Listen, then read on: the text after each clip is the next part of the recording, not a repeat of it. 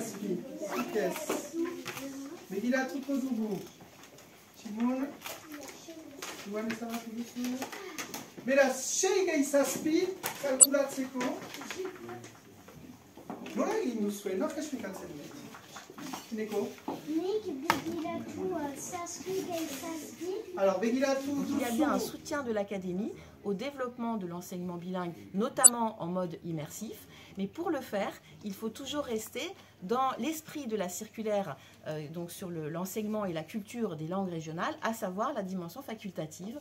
Euh, il y a le choix aux parents, à l'ensemble des parents. Ah, donc, vu la différence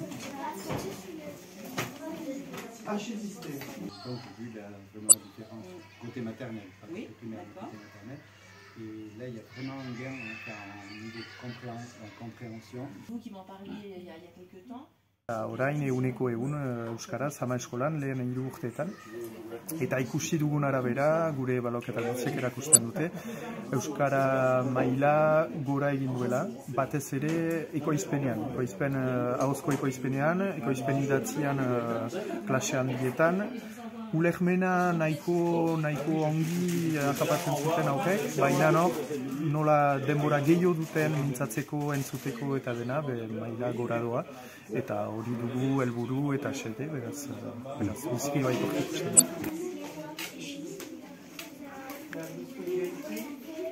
eh, beraz,